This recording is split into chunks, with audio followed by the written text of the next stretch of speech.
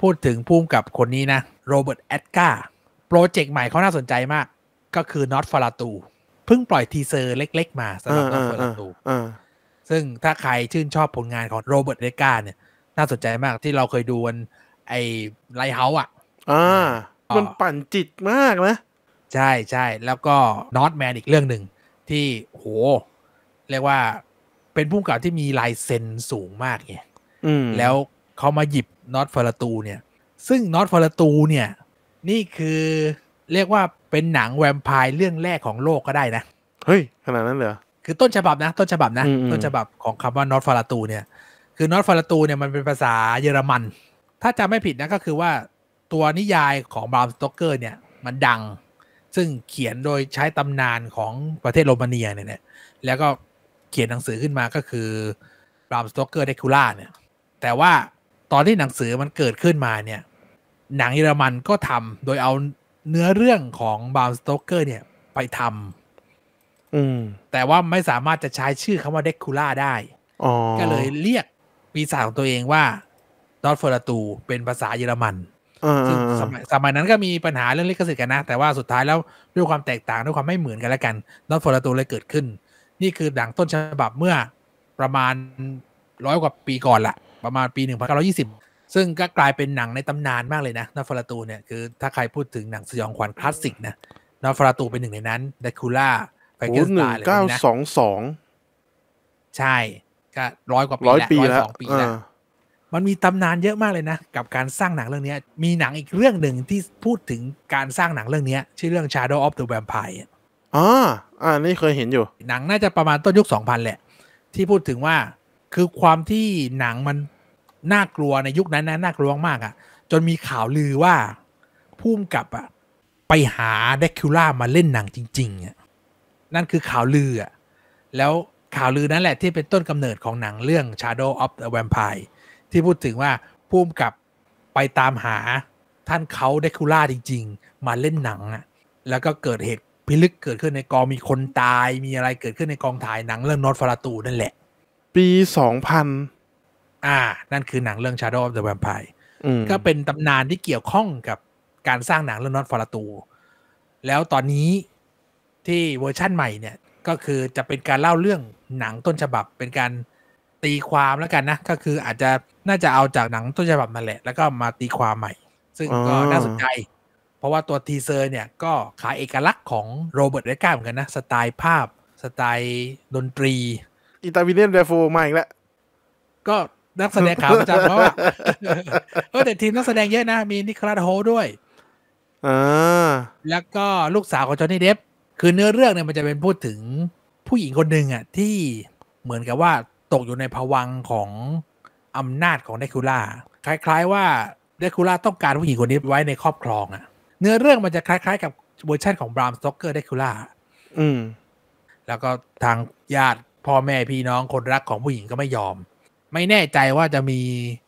คาแรคเตอร์ของ Van Helsing โผล่มาหรือเปล่า เพราะว่าอ่าตามหนังสือตำนาน Stoker เนี่ยอืมอ่ามันจะมีนักปราบแวมไพร์คนนี้แหละโผล่มาอืมด้วย เพื่อจะมาหยุดยั้งไม่ให้ผู้หญิงคนนี้ โดนล่อลวงเข้าสู่โลกของปีศาจร้ายอะไรเงี้ยแต่สไตล์ภาพอย่างที่บอกมันคือลายเซ็นของเอ่อผู้กำกับจริง ๆ นะ จริง ๆ นะ ใช่ สุดมากอะสุดมากเลย อารมณ์ mood and tone คล้ายๆกันแต่เปลี่ยนก็คือ อย่างที่เราเห็นใน Northman เนี่ยโหไปแบบหิมะ เออภูเขาธรรมชาติป่าป่าๆแบบกันดานสกอตแลนด์อะไรพวกเนี้ยเออ แต่ของ Nosferatu เนี่ยมันดูแบบมืดมนดูโกธิก ดูแบบเป็นเมืองที่ไม่น่าอยู่เหมือนลอนดอนอะเออเหมือนลอนดอนยุคมืดอะมันยุคมืดเออะอ ซึ่งโหกลายเป็นอีกมุกเป็นไปพวกเลยนะ ยุคล่าแม่มดอะไรพวกนั้นอะน่าสนใจนะน่าสนใจ คือถ้าเทียบกันสเกลใหญ่ขึ้นกว่าด้วยนะ เพราะว่าอย่าง Lighthouse เนี่ยอยู่แต่ใน ประภาคารตรงนั้นอะเออเออเออเออเอออันนี้ดูแบบสเกลแบบเมืองใหญ่หลายประเทศไปโรมาเนียหรือเปล่าตามตามท้องเรื่องต้องไปโรมาเนียนะเดคูเอออยู่ในลอนดอนหรือเปล่าโอ้โหในยุโรปเนี่ยหลายประเทศเลยน่าสนใจนะแต่การสร้างสรรค์โลกของเดคูล่าแบบเนี้ยโลกของ Nosferatu เนี่ยเออ น่าสนใจเว้ย Nosferatu เวอร์ชันนี้เวอร์ชันเดิมผมก็ยังไม่ได้ดูนะ ปีสองสองโอ้โห มันเก่ามากอะแต่ว่า เออ น่าสนใจน่าสนใจ ผมชอบสไตล์ภาพเขาอยู่แล้วอะเออมันมันสวยมาก สวยมากๆ แต่ว่าไม่แน่ใจว่าจะดูง่าย ขนาดนั้นหรือเปล่าไม่กล้าฟันธงเพราะว่าตอนใช่ใช่ Lighthouse นี่ถ้าเกิดใครไปดูนี่คือขมปี๋เลยนะอืมจี๊ดไม่ขึ้นมาทันทีเลยนะ Lighthouse นี่โคตรยากเลยนะ ขนาด Northman อะที่ตัวอย่างบอกว่า ฉันจะฆ่าเพื่อล้างแค้น แต่หนังยังดูไม่ไม่ไปถึงขั้นนั้นนะไม่บันเทิงขนาดนั้นอะอืมหนังดูจะเข้าใจง่ายตรงไปตรงมา ใช่ คือ ถ้าใครเคยดูตัวอย่างนอตแมนอะมันคือพล็อตของเรื่องอะอยู่ในตัวอย่างเรียบร้อยแล้วอะอืม ประมาณแกฆ่าพ่อฉัน แกฉุดแม่ฉันเอฉันอจะตามล่าแก ฉันจะแก้แค้นให้ได้ แล้วเนื้อเรื่องเป็นอย่างนั้นเลย แต่โอ้โห วิธีการเล่าเรื่องวิธีการเสริมตำนานเข้าไปวิธีการใช้นิมิตใช้ตำนานเทพใช้ตำนานไวกิ้งโบราณผสมเข้าไปกับเนื้อหาล้างแค้นเนี่ยมันกลายเป็นความซับซ้อนที่เออว่ะมันมากกว่าหนังแอคชั่นว่ะมันไม่ได้ดูง่ายแบบ แอคชั่นล้างแค้นไม่ใช่ Braveheart อะเล่าเรื่องแบบหลอนๆอะเหรอโอ้ไปอย่างนั้น แล้วหนังมันเป็นการ